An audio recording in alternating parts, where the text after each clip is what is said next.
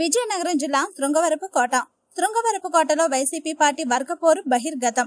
MLA కడుబండికి వ్యతిరేకంగా MLC వర్గీయులు తిరుగుబాటు విలేకరుల సమావేశం. తిరుగుబాటు సమావేశానికి ఎమ్మెల్సీ మినహా వర్గీయులంతా హాజరు. ఎరుకమ్మ పేరంటాల కళ్యాణ మండపంలో సమావేశం ఏర్పాటు. సమావేశానికి అధిక సంఖ్యలో హాజరైన ఎమ్మెల్సీ వర్గీయులు. ఎమ్మెల్యేకు వ్యతిరేకంగా ఏర్పాటు చేసిన సమావేశంలో ఎమ్మెల్యే తీరును తప్పుపడుతున్న ఎమ్మెల్సీ వర్గీయులు. ఎమ్మెల్యే తీరు సరిగా లేనందువల్లే వ్యతిరేక వర్గం అంటూ తమ బాధను చెప్పిన ఎంపీపీ సండి సోమేశ్వరరావు వైసీపీ నాయకుడు వెంకటరావు. ఎమ్మెల్యే కడుపంటి శ్రీనివాసరావుకు వ్యతిరేకంగా ఏర్పాటు చేసిన సభకు హాజరైన ఎమ్మెల్సీ ఇందుకూరి రఘురాజు. మంత్రి బొత్స సత్యనారాయణ సూచనల మేరకు ఎమ్మెల్సీ ఇందుకూరి రఘురాజు కార్యకర్తలకు హామీ.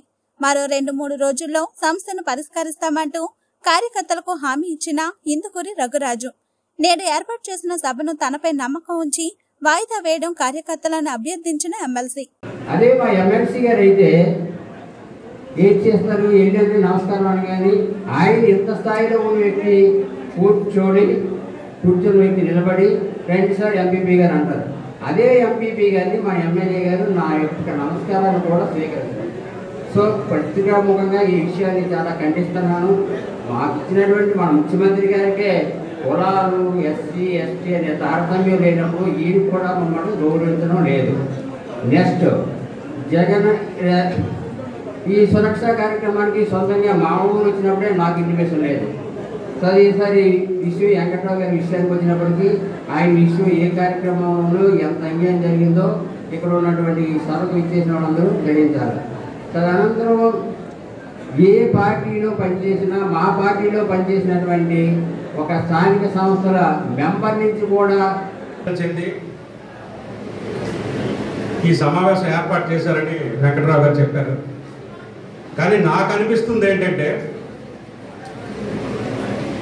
మనందరం పూర్వాశ్రమంలో కాంగ్రెస్ పార్టీ నుంచి వచ్చిన వాళ్ళని మనకి ఎస్కోట నియోజకవర్గం ముఖ చిత్రాన్ని పరిశీలించినట్టయితే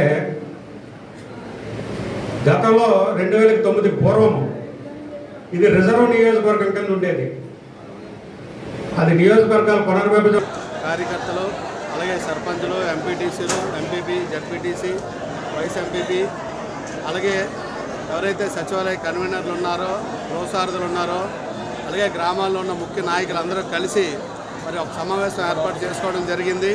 ఈ సమావేశానికి ముఖ్య కారణం ఏంటంటే ఇక్కడ జేసీఎస్ కన్వీనర్ వెంకట్రావుని మరి అతని బాధ్యతలు సక్రమంగా నిర్వర్తిస్తున్నా కానీ అతన్ని విధుల నుంచి తొలగించారని ఒక కారణంతో మరి ఈరోజు సమావేశం పెట్టడం జరిగింది. ఈ సమావేశం గతంలో కూడా అనుకున్నప్పుడు పెద్దలు వైవి సుబ్బారెడ్డి గారు ఆ రోజు మాట్లాడి ఇటువంటి సమావేశాలు ఏం పెట్టొద్దు నేను వచ్చి మాట్లాడతానని పెద్దలు మాట్లాడడం జరిగింది. అయినప్పటికీ కూడా సుమారు ఇరవై రోజులు గడిచిన తర్వాత కూడా ఇంకా కార్యక్రమాలు అదే విధంగా ఉన్నాయి. ఎక్కడికెక్కడ మరి ఇక్కడ పరిస్థితి రెస్పాండ్ పరిస్థితి మీ అందరికీ కూడా తెలుసు. ఎందుకంటే అటు ఎమ్మెల్యే గారు అవనండి మేము అవనండి మిగిలిన మండలాల్లో కూడా చాలామంది క్యాడర్ డిఫర్ అయి ఉన్నారు.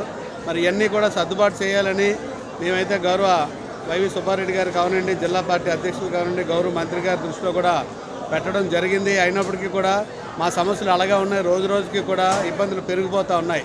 ఎందుకంటే కష్టపడి ఆ రోజు రెండు వేల పంతొమ్మిదిలో జగన్మోహన్ రెడ్డి గారు ముఖ్యమంత్రి అవ్వాలి వైఎస్ఆర్ కాంగ్రెస్ పార్టీ అధికారంలోకి రావాలని ఎవరైతే కష్టపడిన కార్యకర్తలు ఉన్నారో అందులో చాలామంది ఈరోజు ఇబ్బంది పడే పరిస్థితులు అయితే మరి ఇక్కడ ఎస్కోట్ నియోజకవర్గంలో ఉన్నాయి. మరి ఇవన్నీ కూడా పెద్దల దృష్టికి తీసుకెళ్ళినప్పటికీ కూడా మాకు ఇంకా వాళ్ళ సమైన సరైన మరి న్యాయం జరగలేదు మాకు. మమ్మల్ని కూర్చోబెట్టి మాట్లాడలేదు. ఇక్కడ పరిస్థితి చక్కదిద్దలేదని ఒక ఆలోచనతో ఈరోజు ఇక్కడ సమావేశం పెట్టడం జరిగింది. మరి నిజంగా ఇటువంటి సమావేశం పెట్టడం చాలా దురదృష్టకరం. ఎందుకంటే నూటికి ఎనభై తొంభై శాతం ఇక్కడేమో మరి లోకల్ బాడీ సెలక్షన్లు అన్నీ కూడా గెలుచుకొని ఎమ్మెల్యే ఉండి ఎంపీ ఉండి నేను ఒక ఎమ్మెల్సీగా ఉండి మరి కార్యకర్తలు ఈ విధంగా ఉన్నారంటే చాలా దురదృష్టకరం. ఇటు ఇవన్నీ కూడా సరిదిద్దాలని ఒక ఆలోచనతో ఇక్కడ కార్యకర్తలు అందరూ సమావేశం పెట్టుకున్నారు. పెట్టుకున్న తర్వాత నాకు ఉదయమే జిల్లా పరిషత్ అధ్యక్షులు మా పార్టీ అధ్యక్షులు మధ్య శ్రీనివాసరావు గారు ఫోన్ చేయడం జరిగింది. అలాగే గౌరవ మంత్రి గారు కూడా మరి ఎస్కోట్లో ఈ మీటింగ్ జరుగుతుందట. మరి అది ఆ మీటింగ్ని వెంటనే నువ్వు వెళ్ళి ఆపోని మరి నాకైతే ఆదేశాలు ఇవ్వడం జరిగింది.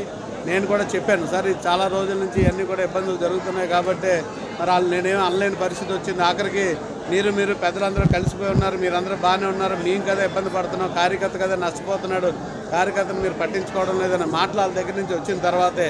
అలాగే మాకేం గౌరవాలు లేవు. ఎందుకంటే మీ సర్పంచులుగా ఉన్న ఎంపీటీసీలుగా ఉన్న ఎంపీపీ జడ్పీటీసీలుగా ఉన్నా మాకైతే గౌరవాలు లేవు అన్నది.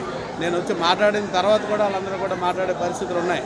ఈరోజు ఎందుకంటే ఇది ప్రజాస్వామ్యంలో ఎవరి బాధ్యత